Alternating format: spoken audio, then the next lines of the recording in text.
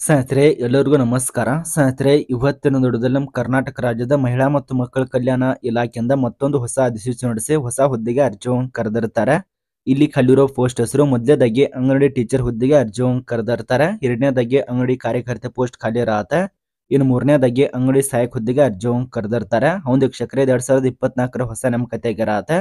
ತುಂಬಾ ಜನ ಮಹಿಳಾ ಅಭ್ಯರ್ಥಿಗಳು ಕನಸನ್ನು ಕುಂತಿದ್ದಾರೆ. ನಾನು ಕೂಡ ಒಂದು ಅಂಗನವಾಡಿ ಟೀಚರ್ ಆಗಿ ಕೆಲಸ ಮಾಡಬೇಕು. ಆ ಹುದ್ದೆಯನ್ನು ಪಡೆದುಕೊಳ್ಬೇಕಂತ ಅಂತ ಒಂದು ಮಹಿಳಾ ಅಭ್ಯರ್ಥಿಗೆ ಗುಡ್ ನ್ಯೂಸ್ ಆಗಿರತ್ತೆ. ನೋಡಿ ಸ್ನೇಹಿತರೆ, ಈಗಾಗಲೇ ಆನ್ಲೈನ್ ಮೂಲಕವಾಗಿ ಅರ್ಜಿ ಕೂಡ ಪ್ರಾರಂಭ ಆಗಿದೆ. ಇವಳಿಗೆ ಸಂಬಂಧಪಟ್ಟಂತೆ ಜಸ್ಟ್ ನೀವು ಏಳನೇತೆ ಪಾಸ್ ಆದಂತ ಅಭ್ಯರ್ಥಿ ಆದ್ರೆ ನಡೆಯುತ್ತೆ ಅರ್ಜಿಯನ್ನು ಸಲ್ಲಿಸಬಹುದು. ಮತ್ತು ಹತ್ತನೇತೆ ಪಾಸ್ ಆದ್ರೂ ಅರ್ಜಿ ಸಲ್ಲಿಸೆ, ಮತ್ತು second P U C pass ಆದ್ರೂ ಅರ್ಜಿ ಸಲ್ಲಿಸಲು ಅವಕಾಶ ಇರತ್ತೆ.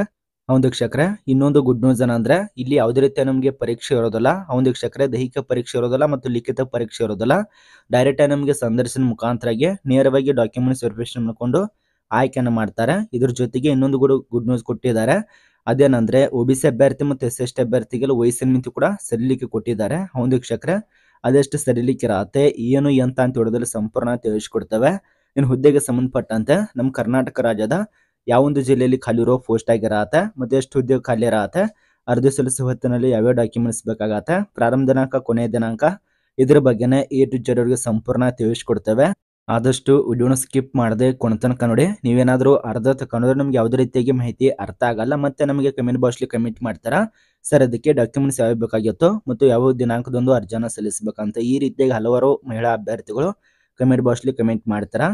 ಕಮೆಂಟ್ ಮಾಡಬಾರ್ದಂದ್ರೆ ಆದಷ್ಟು ತನಕ ನೋಡಿ, ಸಂಪೂರ್ಣ ಮಾಹಿತಿ ಅರ್ಥ ಆಗತ್ತೆ. ಮತ್ತು ವಿಡಿಯೋ ಸ್ಟಾರ್ಟ್ ಮಾಡೋಕ್ಕಿಂತ ಮೊದಲು ಇನ್ನೂವರೆಗೆ ಆರಾಮ್ ಚಾನಲನ್ನು ಸಬ್ಸ್ಕ್ರೈಬ್ ಮಾಡಿಲ್ಲ, ಈಗಲೇ ಚಾನಲನ್ನು ಸಬ್ಸ್ಕ್ರೈಬ್ ಮಾಡ್ಕೊಂಡು ಬಾಜುಕನ್ ಬೆಲ್ ಬಟನನ್ನು ಆಲ್ ಮೇಲೆ ಪ್ರೆಸ್ ಮಾಡ್ಕೊಳ್ಳಿ. ನಾವು ಹಾಕೋಲ್ಲ ಹೊಸ ಹೊಸ ಅಪ್ಡೇಟ್ಗಳು ನಿಮಗೆ ನೋಟಿಫಿಕೇಶನ್ ಮುಖಾಂತರ ಬಂದು ಬೇಗನೆ ತಲುಪ್ತದೆ.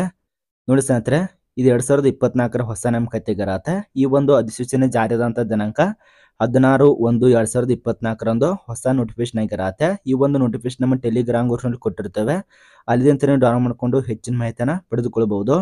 ಬನ್ನಿ ಸ್ನೇಹಿತರೆ, ಹುದ್ದೆ ಬಗ್ಗೆ ಒಂದೊಂದು ತಿಳಿಸ್ಕೊಡ್ತೇವೆ. ಇಲ್ಲಿ ಖಾಲಿರೋ ಪೋಸ್ಟ್ ಹೆಸರು ಮೊದಲದಾಗಿ ಅಂಗಡಿ ಕಾರ್ಯಕರ್ತ ಪೋಸ್ಟ್ ಖಾಲಿ ಇರತ್ತೆ ಎರಡನೇದಾಗಿ ಅಂಗಡಿ ಸಹಾಯಕ ಹುದ್ದೆಗೆ ಅರ್ಜಿಯನ್ನು ಕರೆದಿರ್ತಾರೆ. ಯಾವ್ದು ಬೇಕಾದ ಪೋಸ್ಟಿಗೆ ನೀವು ಆಯ್ಕೆ ಮಾಡ್ಕೊಂಡು ಸಂಪೂರ್ಣವಾಗಿ ಆನ್ಲೈನ್ ಮುಖಾಂತರ ರಿಜಿಸ್ಟರ್ ಆಗಿ ಮತ್ತು ಆನ್ಲೈನ್ ಮುಖಾಂತರ ಅರ್ಜಿಯನ್ನು ಸಲ್ಲಿಸೆ.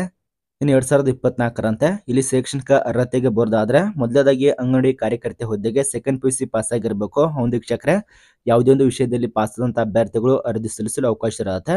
ಇನ್ನು ಅಂಗನವಾಡಿ ಸಹಾಯಕ ಹುದ್ದೆಗೆ S S L C pass ಆದಂತ ಅಭ್ಯರ್ಥಿಗಳು ಅರ್ಜಿ ಸಲ್ಲಿಸಲು ಅವಕಾಶ ಇರುತ್ತೆ. ಒಂದು ವೀಕ್ಷಕರೇ ಜಸ್ಟ್ ಒಂದು ಹತ್ತನೇತೆ ಪಾಸ್ ಆಗಿರಬೇಕು. ನೋಡಿಕೊಂಡು ಅರ್ಜಿನ ಸಲ್ಲಿಸೆ. ಇನ್ನು ವಯಸ್ಸಿನ ಮಿತಿಗೆ ಬರೋದಾದ್ರೆ ಕನಿಷ್ಠ ನಿಮಗೆ ಹದಿನೆಂಟು ವರ್ಷ ಆಗಿರಲೇಬೇಕು. ಯಾವುದೋ ಒಂದು ಸರ್ಕಾರಿ ಹುದ್ದೆ ಆಗಬಹುದು ಅಥವಾ ಪ್ರೈವೇಟ್ ಹುದ್ದೆ ಆದರೂ ಅರ್ಜಿ ಸಲ್ಲಿಸಲು ಅವಕಾಶ ಇರೋದ್ರಿಂದ ಹದಿನೆಂಟು ವರ್ಷ ಮೇಲ್ಪಟ್ಟವರು ಅರ್ಜಿಯನ್ನು ಸಲ್ಲಿಸಬಹುದು. ಇನ್ನು ಗರಿಷ್ಠ ವಯಸ್ಸು ಸುಮಾರು ಮೂವತ್ತೈದು ವರ್ಷ ಕೊಟ್ಟಿದ್ದಾರೆ.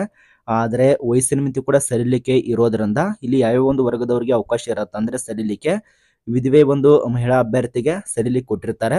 ಮತ್ತು ಅಂಗವಿಕಲತೆ ಮಹಿಳಾ ಅಭ್ಯರ್ಥಿಗೆ ಸರಿಲಿಕ್ಕೆ ಕೊಟ್ಟಿರ್ತಾರೆ. ಇದನ್ನ ಹೊರತುಪಡಿಸಿ ಒ ಬಿ ಸಿ ಅಭ್ಯರ್ಥಿ ಮೂರು ವರ್ಷದ ತನಕ ಸರಿಲಿಕ್ಕೆ ಇರತ್ತೆ ಎಸ್ ಎಸ್ ಟಿ ಅಭ್ಯರ್ಥಿಗೆ ಐದು ವರ್ಷದ ತನಕ ಸರಿಲಿಕ್ಕೆ ಇರತ್ತೆ ನೀವು ಅರ್ಜಿ ಸಲ್ಲಿಸುವ ಹೊತ್ತಿನಲ್ಲಿ ಒಂದು ಸಣ್ಣ ಕೆಲಸ ಮಾಡಬೇಕು. ನಿಮ್ಮ ವಯಸ್ಸಿನ ಮಿತಿ ನಾವು ಸರಿ ಲೆಕ್ಕಾಚಾರ ಮಾಡಿಕೊಂಡು ಅರ್ಜಿನ ಸಲ್ಲಿಸಬೇಕು. ತುಂಬಾ ಅಂದ್ರೆ ತುಂಬಾ ಒಳ್ಳೆಯದು ಇನ್ನು ಮುಂದಿನದಾಗಿ ಅರ್ಜಿ ಶುಲ್ಕಕ್ಕೆ ಬರೋದಾದ್ರೆ ನೋಡಿ ಸ್ನೇಹಿತರೆ, ಯಾವುದೇ ರೀತಿಯ ನಮಗೆ ಅರ್ಜಿ ಅಂತ ಶುಲ್ಕ ಇರೋದಿಲ್ಲ. ಡೈರೆಕ್ಟ್ ಆಗಿ ಉಚಿತವಾಗಿ ನಿಮ್ಮ ಮೊಬೈಲ್ ಮುಖಾಂತರ ಆದರೂ ಅರ್ಜಿ ಸಲ್ಲಿಸಿ ಅಥವಾ ನಿಮ್ಮ ಒಂದು ಆನ್ಲೈನ್ ಸೆಂಟ್ರಿಗೆ ಆದ್ರೂ ಹೋಗಿ ಅರ್ಜಿ ಸಲ್ಲಿಸಿ ಯಾವುದೇ ರೀತಿಯಾಗಿ ತೊಂದರೆ ಇರಲ್ಲ. ಇನ್ನು ಆಯ್ಕೆ ಪ್ರಕ್ರಿಯೆಗೆ ಬರೋದಾದ್ರೆ ಮೊದಲೇ ನಮಗೆ ಮೆರಿಟ್ ಪಟ್ಟಿ ಎಷ್ಟಾಗಿದೆ ಅದನ್ನ ಚೆಕ್ ಮಾಡ್ತಾರೆ. ಅಂದ್ರೆ ಎಸ್ ಎಸ್ ಎಲ್ ಸಿ ಅಂಕ ಪಟ್ಟಿದೊಂದಿಗೆ ಎಷ್ಟೊಂದು ಮೆರಿಟ್ ಆಗಿದೆ, ಎಷ್ಟು ಅಂಕ ಪಡೆದಿದ್ದಾರೆ ಅದನ್ನ ಚೆಕ್ ಮಾಡ್ತಾರೆ. ಅದಾದ್ಮೇಲೆ ಸಂದರ್ಶನ ಮುಖಾಂತರಾಗಿ ನೇರವಾಗಿ ಡಾಕ್ಯುಮೆಂಟ್ ಸರ್ಫೇಷನ್ ಮಾಡ್ಕೊಂಡು ಆಯ್ಕೆನ ಮಾಡ್ತಾರೆ. ವಿಡಿಯೋದ ಮುಂದ್ಗಡೆ ತಿಳಿಸ್ಕೊಡ್ತೇವೆ. ಯಾವ್ಯಾವ ಡಾಕ್ಯುಮೆಂಟ್ಸ್ ಬೇಕು, ಏನು, ಎಂತ ಅಂತ. ಇನ್ನು ಎಲ್ಲಕ್ಕಿಂತ ಮೊದಲು ಪ್ರಮುಖ ದಿನಾಂಕಗಳು ಬರೋದಾದ್ರೆ ತುಂಬಾ ಜನ ಕನ್ಫ್ಯೂಸ್ ಆಗಿ ಕಮೆಂಟ್ ಬಾಕ್ಸ್ಲಿ ಕಮೆಂಟ್ ಮಾಡ್ತಾರೆ. ಸರ್ ಕೊನೆ ದಿನಾಂಕ ಏನಾಗಿದೆ ಅಂತ ನೋಡಿ ಸ್ನೇಹಿತರೆ, ಹದಿನಾರು ಒಂದು ಎರಡ್ ಸಾವಿರದ ಇಪ್ಪತ್ನಾಲ್ಕರಿಂದ ಅರ್ಜಿ ಕೂಡ ಪ್ರಾರಂಭ ಆಗಿದೆ. ಅರ್ಜಿ ಸಲ್ಲಿಸಲು ಕೊನೆ ದಿನಾಂಕ ಹದಿನೈದು ಫೆಬ್ರವರಿ ಎರಡ್ ಸಾವಿರದ ಇಪ್ಪತ್ನಾಲ್ಕರ ತನಕ ಅವಕಾಶ ಕೊಟ್ಟಿದ್ದಾರೆ. ಇದೇ ಒಂದು ಡೇಟ್ ಒಳಗಾಗಿ ನೀವು ಆನ್ಲೈನ್ ಅಲ್ಲಿ ಅರ್ಜಿಯನ್ನ ಸಲ್ಲಿಸಬೇಕು. ನೋಡಿ ಸ್ನೇಹಿತರೆ, ಅರ್ಜಿ ಸಲ್ಲಿಸುವ ಅಭ್ಯರ್ಥಿಗಳು ಈ ಸಂಸ್ಥೆಗೆ ನೀವು ಅರ್ಜಿಯನ್ನ ಸಲ್ಲಿಸಬೇಕಾಗತ್ತೆ. ನಮ್ಮ ಕರ್ನಾಟಕ ರಾಜ್ಯದ ಮಹಿಳಾ ಮತ್ತು ಮಕ್ಕಳ ಕಲ್ಯಾಣ ಇಲಾಖೆ ಹಾವೇರಿಗೆ ಸಂಬಂಧಪಟ್ಟಂತೆ ಖಾಲಿರೋ ಪೋಸ್ಟ್ ಇರೋದ್ರಿಂದ ಟೋಟಲ್ ಆಗಿ ಒಂದೂರ ಐವತ್ತೆರಡು ಪೋಸ್ಟ್ಗಳು ಖಾಲಿ ಇರತ್ತೆ. ನೋಡಿ ಸ್ನೇಹಿತರೆ, ಮೊನ್ನೆ ಕೂಡ ವಿವಿಧ ಒಂದು ಜಿಲ್ಲೆಗೆ ಸಂಬಂಧಪಟ್ಟಂತೆ ಅರ್ಜಿ ಕರೆದಿದ್ರು. ಅದ್ರ ಬಗ್ಗೆ ಈಗಾಗಲೇ ಒಂದು ಸೆಪರೇಟ್ ವಿಡಿಯೋ ಮಾಡಿ ಕೂಡ ತಿಳಿಸ್ಕೊಟ್ಟಿದ್ದೇವೆ. ಎಲ್ಲ ಒಂದು ಜಿಲ್ಲೆಗೆ ಸಂಬಂಧಪಟ್ಟಂತೆ ಒಂದಾದ್ಮೇಲೆ ಒಂದು ಒಂದಾದ್ಮೇಲೆ ಒಂದು ಅಧಿಸೂಚನೆ ಆಗ್ತಾನೆ ಇರತ್ತೆ.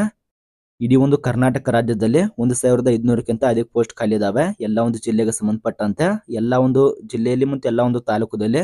ಎರಡು ನೂರು ಮೂರು ನೂರು ಐವತ್ತು ಈ ರೀತಿಯ ಪೋಸ್ಟ್ ಕರಿತಾನೆ ಇರ್ತಾರೆ. ಒಂದಾದ್ಮೇಲೆ ಒಂದು ಒಂದಾದ್ಮೇಲೆ ಒಂದು ವಿಡಿಯೋ ಮಾಡ್ತಾನೆ ಇರ್ತೇವೆ. ಆದಷ್ಟು ನಿಮ್ಮ ಜಿಲ್ಲೆಗೆ ಸಂಬಂಧಪಟ್ಟಂತೆ ಅರ್ಜಿ ಸಲ್ಲಿಸಿ ಅಥವಾ ಬೇರೆದವರು ಕೂಡ ಅರ್ಜಿ ಸಲ್ಲಿಸಬಹುದು. ಯಾವುದೇ ರೀತಿಯ ತೊಂದರೆ ಇರಲ್ಲ.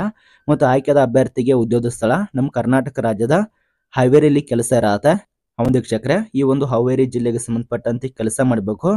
ಇನ್ನು ಆಯ್ಕೆದ ಅಭ್ಯರ್ಥಿಗೆ ಮಂತ್ಲಿ ವೇತನ. ನೋಡಿ ಸ್ನೇಹಿತರೆ, ಹತ್ತು ಸಾವಿರದಿಂದ ಹದಿನೈದು ಸಾವಿರ ತನಕ ವೇತನ ಆಗಿರತ್ತೆ. ಈ ಒಂದು ವೇತನ ಒಂದೇ ರೀತಿಯಾಗಿರಲ್ಲ ಇದು ಕೇಂದ್ರ ಸರ್ಕಾರದ ಸಿ ಪಿ ಸಿ ಪ್ರಕಾರಕ್ಕೆ ವೇತನ ಸೈನಿಕರು ನೀಡುತ್ತಾರೆ ಆ ದೃಷ್ಟಿಯಲ್ಲಿ ಯಾವುದೇ ರೀತಿಯ ನಿಮಗೆ ವೇತನ ಸೇನೆ ಹೆಚ್ಚಿಗೆ ಬಗ್ಗೆ ಕೊಟ್ಟಿಲ್ಲ. ಅದ್ರ ಕೊಟ್ಟರು ಕೂಡ ವಿಡಿಯೋದಲ್ಲಿ ತಿಳಿಸ್ಕೊಡ್ತಾ ಇರ್ತೀವಿ. ಅದು ಅಂದಾಜು ನಮ್ಮ ಹೇಳಬೇಕಂದ್ರೆ ಇದು ವರ್ಷಕ್ಕೊಮ್ಮೆ ವೇತನ ಸೇನೆ ಕೂಡ ಹೆಚ್ಚಾಗುತ್ತೆ. ಇದಕ್ಕೆ ಯಾವ ಮಹಿಳಾ ಅಭ್ಯರ್ಥಿಗಳು ಅರ್ಜಿಯನ್ನು ಸಲ್ಲಿಸಬೇಕಂದ್ರೆ ನೋಡಿ ಸ್ನೇಹಿತರೆ, ಮಹಿಳೆಯರು ಮುಖ್ಯವಾಗಿ ಅರ್ಜಿಯನ್ನು ಸಲ್ಲಿಸಬೇಕು. ಅದರಲ್ಲಿ ಲಿಂಗತ್ವ ಅಭ್ಯರ್ಥಿಗಳು ಅರ್ಜಿ ಸಲ್ಲಿಸಿ ಮತ್ತು ಅಲ್ಪಸಂಖ್ಯಾತರ ಮಹಿಳೆಯರು ಅರ್ಜಿ ಸಲ್ಲಿಸಲು ಅವಕಾಶ ಇರುತ್ತೆ ಮತ್ತು ಇದಕ್ಕೆ ಸಂಬಂಧಪಟ್ಟಂತೆ ಪ್ರಮುಖ ಡಾಕ್ಯುಮೆಂಟ್ಸ್ ನೋಡೋದಾದ್ರೆ ನೋಡಿ ಇದು ಆನ್ಲೈನ್ ಮುಖಾಂತರಾಗಿ ಅರ್ಜಿ ಸಲ್ಲಿಸೋದ್ರಿಂದ ಮೊದಲದಾಗಿ ಆನ್ಲೈನ್ ಅರ್ಜಿ ಬೇಕಾಗತ್ತೆ, ಮತ್ತು ಜನನ ಪ್ರಮಾಣ ಪತ್ರ ಬೇಕಾಗತ್ತೆ. ಅಂದ್ರೆ ಎಸ್ ಎಸ್ ಎಲ್ ಸಿ ಅಂಕಪಟ್ಟಿ ಬೇಕು, ಪುರಾವೆ ಕೇಳಿರ್ತಾರೆ. ಮತ್ತು ನಿಗದಿತ ಒಂದು ವಿದ್ಯಾರ್ಹತೆ ಪಟ್ಟಿ ಬೇಕು. ಎಸ್ ಎಸ್ ಎಲ್ ಸಿ ಮೇಲೆ ಅರ್ಜಿ ಸಲ್ಲಿಸಿದ್ರೆ ಎಸ್ ಎಸ್ ಎಲ್ ಸಿ ಅಂಕಪಟ್ಟಿ ಬೇಕಾಗತ್ತೆ. ಮತ್ತು ಇದಾದ ಮೇಲೆ ತಹಸೀಲ್ದಾರ್ ಪಡೆದಂತ ಒಂದು ವಾಸಸ್ಥಳದ ಪ್ರಮಾಣಪತ್ರ ಬೇಕಾಗತ್ತೆ. ಇದು ಕಂಪಲ್ಸರಿ ಬೇಕು.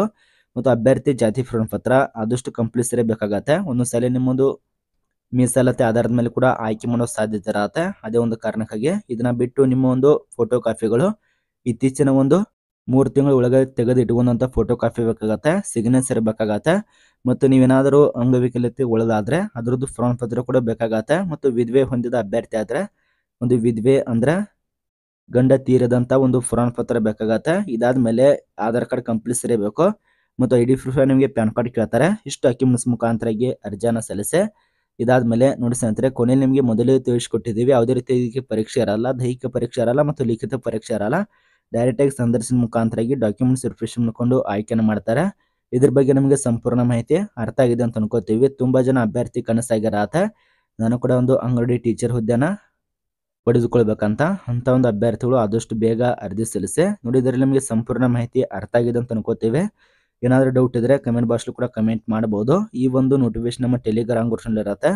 ಅಲ್ಲಿಂದ ನೀವು ಡೌನ್ ಮಾಡಿಕೊಂಡು ಹೆಚ್ಚಿನ ಮಾಹಿತಿನ ಪಡೆದುಕೊಳ್ಬಹುದು ಇನ್ನು ಒಂದಾದ್ಮೇಲೆ ಒಂದು, ಒಂದಾದ್ಮೇಲೆ ಒಂದೊಂದು ಇಲಾಖೆ ಸಂಬಂಧಪಟ್ಟಂತೆ ನಮ್ಮ ಕರ್ನಾಟಕ ರಾಜ್ಯದ ಎಲ್ಲ ಒಂದು ಜಿಲ್ಲೆಯಲ್ಲಿ ಅರ್ಜಿ ಕರೀತಾರೆ ಇರ್ತಾರೆ ಅಲ್ಲಿವರೆಗೆ ವೇಟ್ ಮಾಡಿ ಅಥವಾ ಎಲ್ಲ ಒಂದು ಜಿಲ್ಲೆಗೆ ಸಂಬಂಧಪಟ್ಟಂತೆ ಅರ್ಜಿ ಸಲ್ಲಿಸೋರು ಅರ್ಜಿಯನ್ನು ಸಲ್ಲಿಸಬಹುದು. ಅದೇ ರೀತಿ ತೊಂದರೆ ಇರಲ್ಲ.